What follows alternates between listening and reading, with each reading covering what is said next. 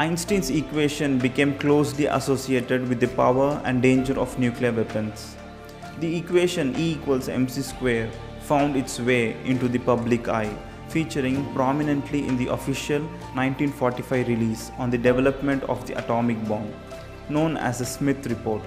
By 1946, the equation became closely linked with Einstein's work with Times magazine's cover prominently featuring a picture of Einstein next to an image of mushroom cloud with the equation. A scientist never experienced this, he only mathematically deduced it. When Einstein said E is equal to mc squared, that is not his living experience, that is his mathematical deduction. A religious person never experienced it, he just believes it because somebody that he believes in said so. So you must decide first of all, are you looking for solace or are you looking for a solution? If you're looking for solace, you just came to the wrong place because I'm not a solace to anybody.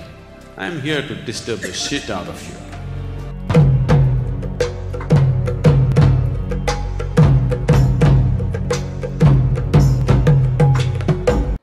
This question is not related to yoga. Can I ask this right now? Okay. What was the reason of creation of this universe? Why are you asking me? I didn't do it. now, now you first said it's not related to yoga. There's nothing which is not related to yoga. Because yoga means union. Yoga does not mean twisting your body, standing on your head, holding your breath or some other nonsense. Yoga means union. Union means all-inclusiveness. Everything has become one in your experience. Now this is not our idea, because that is the way existence is, that it is all-inclusive. There is nothing here which you can separate from the other. Today modern science is proving it to you beyond any doubt that the whole existence is just one energy, yes? The religions of the world have been screaming for a long time that God is everywhere. Whether you say God is everywhere or you say everything is one energy, are you talking about different realities or the same reality? God is everywhere, everything is one energy. Are we talking about the same thing? Yes. A scientist never experienced this, he only mathematically deduced it. When Einstein said E is equal to mc squared, that is not his living experience, that is his mathematical deduction. A religious person never experienced it, he just believes it because somebody that he believes in said so. Now yoga means you are a hard case, you are not willing to settle for deductions or belief systems, you want to know it. So, if you sit here, if you can experience the whole existence as yourself, then you're in yoga. So there is no question not related to yoga, okay? It is very related. Now what you are asking is, why creation? Isn't it? When it comes to creation, you never ask why, you ask how. Because if you ask why creation, I can tell you, one day, you know, God had nothing to do, He was playing marbles. One marble fell this way and became planet Earth, another flew up and became sun. Shall I continue? this is a ridiculous story, you don't like it, but I can tell you a nice elaborate story which you would like to believe. Take a little more time, that's all. If I tell you a more elaborate story, you will believe, isn't it? If you believe, you have an interesting story going, a positive story. If you disbelieve my story, you have a negative story going. But both ways you're not any closer to reality than you are right now, isn't it? Mm-hmm. Yes or no? Yes. If you believe my story, does it get it close to you? If you disbelieve my story, does it get it close to you? No. You will just have stories. Maybe what I am telling you is a true story. Even if it is a true story, still it doesn't get you access to reality, isn't it?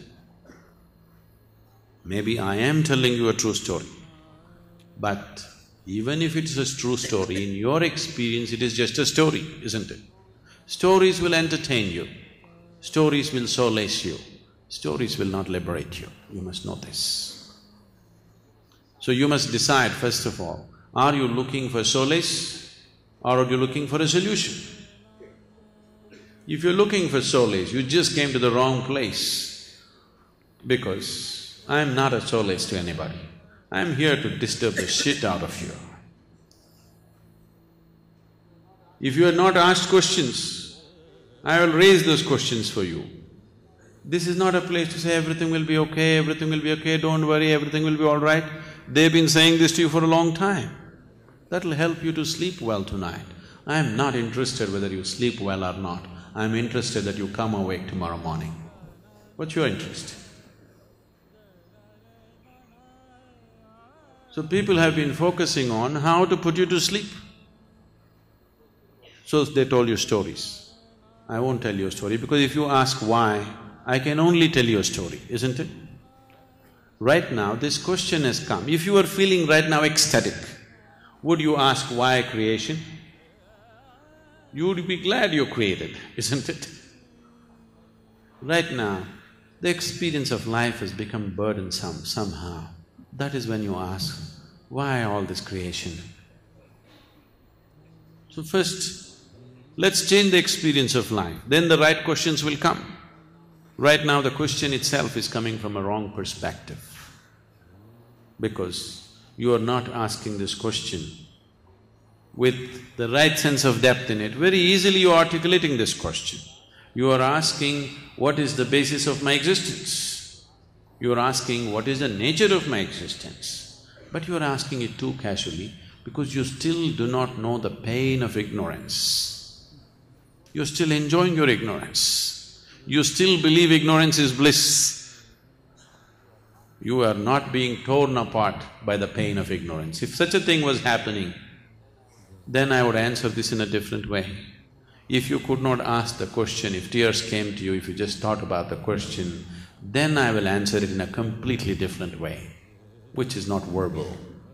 But now you are so clearly articulating the question, you do not know the depth of the question that you're asking yet. In the realm of physics, energy is defined as a capacity to perform work. This capacity can manifest in various forms, including potential, kinetic, thermal, electrical, chemical, nuclear, and others. Energy is also involved in processes such as heat transfer and work, where it undergoes transformations and is identified based on its nature. For instance, transferred heat can become thermal energy, and work done can take the form of mechanical energy. Motion is inherently connected to all forms of energy, for instance, when a body is in motion, it possesses kinetic energy. Even when an object is at rest, it can still harbor the potential for motion and therefore potential energy. This potential is evident in devices like a tension bow or a spring. Nuclear energy is another example of potential energy arising from the arrangement of subatomic particles within an atom's nucleus. In summary, Energy is in various forms, is intricately linked to motion and the potential for action in the physical world. The principle that energy cannot be created nor destroyed, only transformed from one form to another, the first law of thermodynamics. An illustration of this principle is when a box moves down a hill. The potential energy it had due to its elevated position converts into kinetic energy as it descends. When a box comes to a stop due to friction, the kinetic energy transforms into thermal energy, generating heat in both the box and the slope. Energy transformation occurs in various ways, leading to usable mechanical or electrical energy.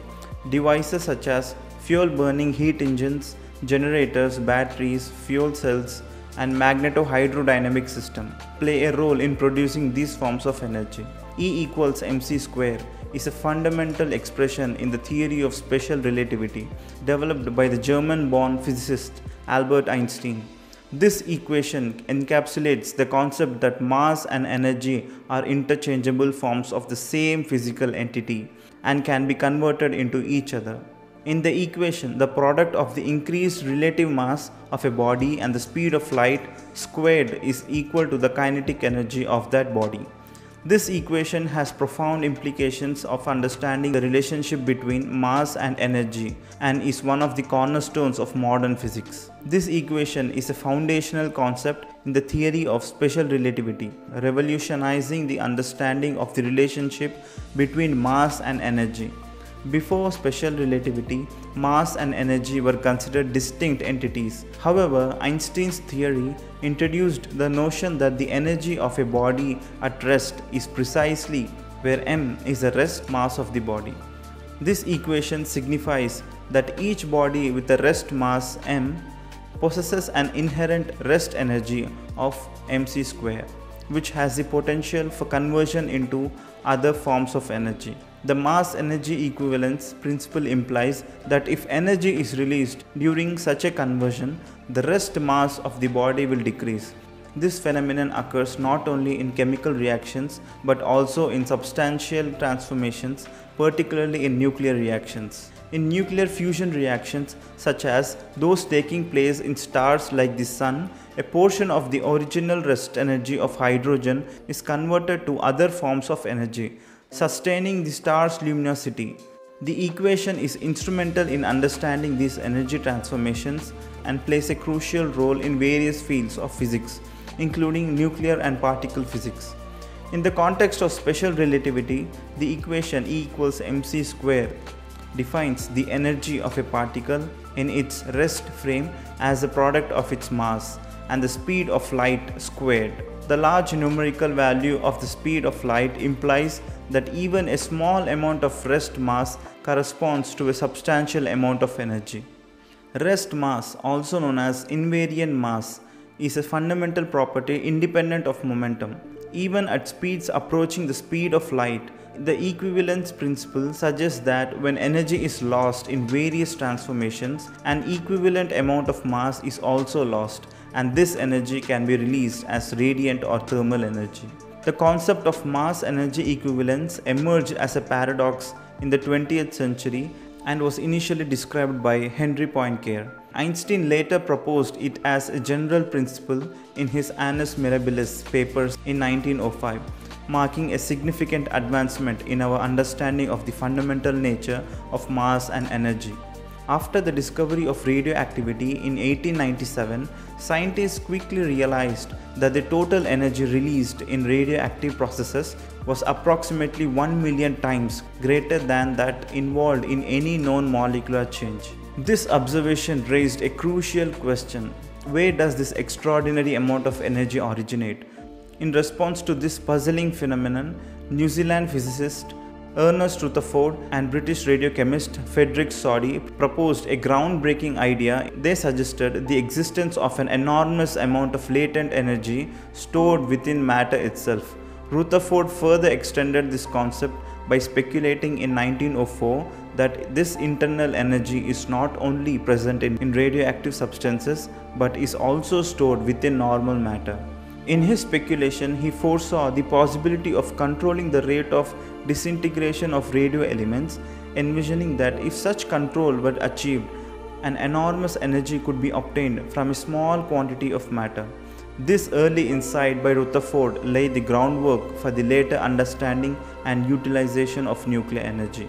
Einstein's famous equation E equals mc square does not serve as an explanation for the large energies released in radioactive decay, but it does provide a means to quantify these energies. The theoretical explanation for radioactive decay is rooted in the nuclear forces responsible for holding atoms together.